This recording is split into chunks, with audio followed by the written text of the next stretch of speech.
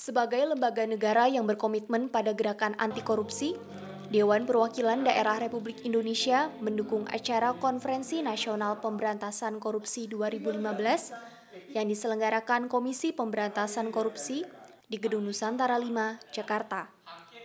Konferensi ini dihadiri Kapolri, Kementerian Kabinet Kerja, BUMN, dan lembaga swadaya masyarakat. Wakil Presiden Republik Indonesia Yusuf Kala mengatakan, seluruh elemen bangsa harus memiliki kesadaran untuk tidak menyalahgunakan kewenangan demi kepentingan pribadi. Maka semuanya harus menjadi satu sistem tidak Tindakan tegas ternyata tidak terlalu mempan juga. Maka di samping kita berbagai sistem juga kita mempunyai fokus ya.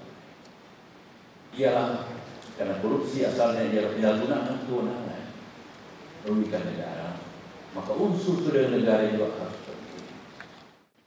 Irman Gusman, Ketua DPD RI mengatakan, perlu ada pendekatan sistemik guna memberantas tindak korupsi.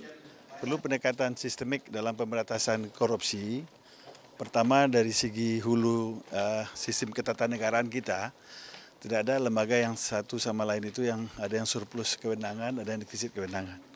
Ini yang penting ya. Kalau itu bisa berjalan dengan baik, itu kita harapkan uh, apa uh, pemberantasan korupsi itu akan bisa jalan dengan baik. Ya. DPD RI mendorong gerakan pemberantasan korupsi dengan melibatkan seluruh komponen bangsa Indonesia. Tim Liputan, Kabar Senator.